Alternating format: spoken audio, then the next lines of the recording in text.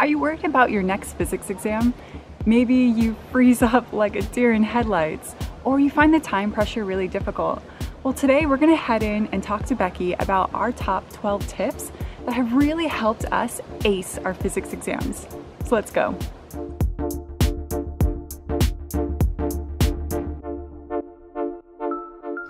Hi everyone, my name is Jena Meinecke and I did my undergraduate degree at UCLA in California in the United States. And I'm Becky Smethurst and I did my undergraduate degree in Durham University in the UK.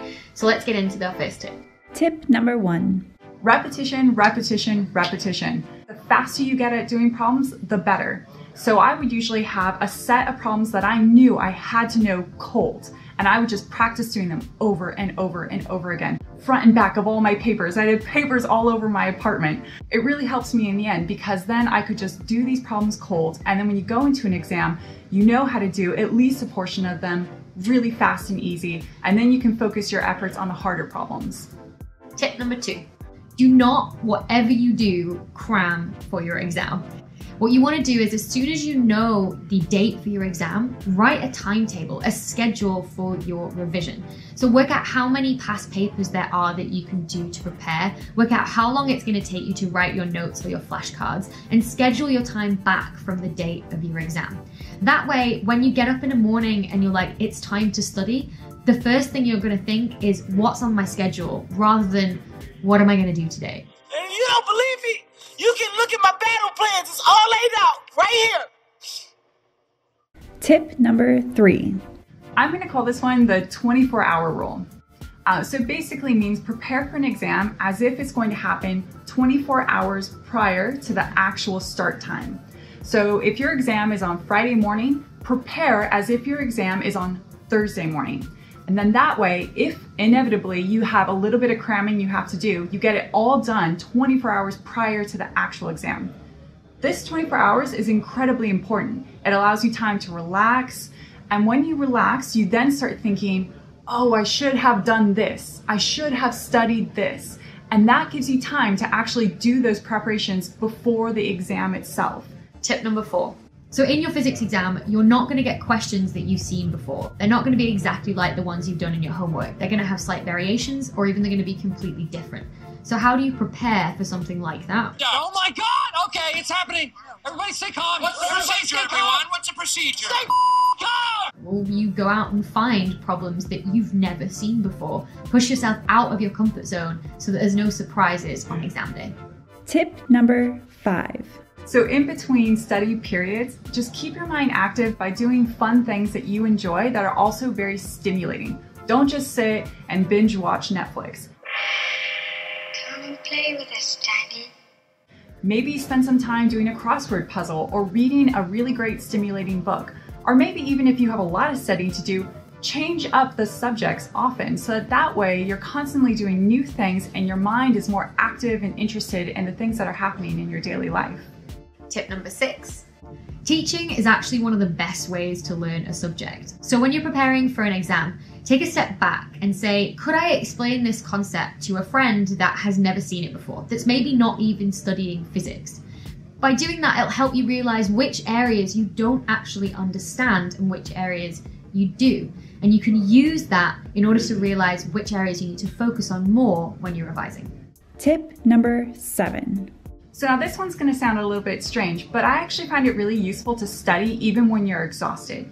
Now, I don't mean only study when you're exhausted, and I don't mean study until you're exhausted. What I mean is that every once in a while you'll have one of those evenings where you just think, I'm so tired, like I don't wanna study today, I'll study tomorrow when I'm feeling awesome. Don't wait until tomorrow. I found that studying when you're exhausted helps prepare you for a non-ideal state that you could be in when you take the exam. So for instance, I used to do a lot of competitive debate. We would always practice our impromptu speaking and debate skills when we were most exhausted. So when you go into an exam, you might not be feeling 100% that day. You might be a little tired, maybe you couldn't sleep very well. By practicing these problems and studying when you're a little bit exhausted, it helps you a little bit more for a non-ideal state when you go to take the exam. Tip number eight, flashcards or revision cards. These are gonna be your best friend when preparing for an exam. 60% of the time, it works every time. They're a fast and easy way to run through a lot of information. So make sure on each card you write down equations, definitions, concepts, the things that you really need to remember so that when you're in an exam, you can then picture that card. The one thing that I found really good to do is to make sure that each topic is a different color of flashcard. That way, when you're in the exam, you can be thinking, okay, astronomy, those are pink cards. So then you can visualize by using the color first to narrow down which card the equation that you need is on. Tip number nine. Take advantage of the time with your professor and your teaching assistant if you have one. Don't wait until the night before to have a whole list of questions that you wish you could ask someone. Sometimes I would make this mistake where the night before I start cramming for all these things and I realize I have 20 different questions that I need to ask somebody. Don't wait until the last minute. Make sure you have a whole list of questions ahead of time. Ask your professor, ask your teaching assistant ahead of time, and get those questions out of the way so that you can just practice before the exam. Tip number 10 when studying for your exam, try and anticipate the questions that you're going to be asked. You should be able to do that from looking back through your lecture notes and your homework problems, but the best way that I found and what really helped me to revise was to go back and look at previous exam papers. That way, you'll get an idea for your teacher's style and the style of the questions that have been set before, and you'll get used to also answering those questions as well, so that in exam time, it'll actually feel like normal to do that. Especially try and find exam questions that have mark schemes as well, because then you'll be able to see where you're missing out on marks and which areas you still don't know yet. Tip number 11 Attend your classes.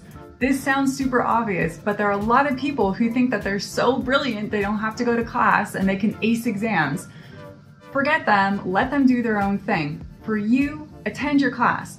You think you're too cool for school. But I got a news flash for you, Walter Cronkite. You aren't. Because I found that more often than not, the professors would actually hint towards exact problems that are going to be on your exam during the lecture. And so you have a huge advantage when you're in class because you know what to expect on your exam. You can also pick up on patterns. If your professor is constantly talking about certain topics in the lecture, you know that those topics are going to show up on an exam. Tip number 12, change up your study locations. You're not going to be taking your exam in your bedroom, right? You don't get used to the temperature or the comfy chair or the noise levels in that room. Change it up so that you have a different experience wherever you're studying. So perhaps you might go to the library or to a cafe. Library might give you a less comfortable chair. The cafe might give you different noise levels to work with. And then you'll get used to working in those different environments so that when it comes to the exam, it doesn't feel weird to be in a new location. So before we leave you off to go and take your exam, let's go through what's going to happen during and after your exam. You should probably brace yourself for some light vomiting, followed by life-altering hallucinations. So when you walk in to take your exam, remember to just take a moment to breathe. One of the most scary things is when you walk into an exam and everyone is around and they're all nervous and there's this nervous energy in the room and everyone's like, oh my gosh, what do you think is gonna be on the exam? Take a minute, breathe, sit down, organize yourself, have a glass of water, and make sure you're in a good place and just feel confident and happy in the preparation that you've done up to this moment. Then, when the exam is in front of you, take a moment to carefully just start looking through it. And what I like to do is I look through and I see how many problems are on the exam, which ones look more difficult than others, and start with the stuff you know. Start with the easiest problems and get them done because at the end of the day, physics exams have a time limit and you can't start with the hardest problem. And it might be the case that the problems 1 through 10 will not be ranked in terms of difficulty. So find the easiest ones, get them out of the way, and move on to the harder ones at the end. For the harder ones though, they can be quite overwhelming and you might not know even where to start as you read the question. So what I would suggest is just writing down everything you know about that topic. Take a deep breath and think, okay, I can write down this equation, I can write down this fact, and then that might help trigger something and help stuff fall into place when you read the question. You never know though, you might end up getting a mark just for writing down that equation or writing down that little piece of information that you knew. So just write down anything that comes to mind in the first place. And just have confidence in yourself that you can do it if you just give yourself the chance. All right, so now you're done with your exam and hopefully it went well, but even if it didn't, it's done and you can't go back and redo it. So the first thing you should do is just accept what you've done, take a deep breath, and walk out of the room and do something special for you. Sometimes for me, it would be like go get a pint of, you know, Haagen-Dazs. I had a bad time. Don't judge me. Food.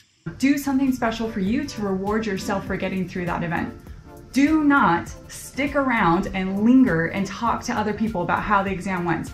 I made this mistake so many times at UCLA. I would stick around and ask people, "Oh, what did you write for this? And what did you do for this?" Oh, and then and then you start thinking about all the wrong answers that you wrote down, but you have no idea if other people have the right answer or not. You sit on a throne of lies. So why worry yourself? Just move on and do something nice for yourself.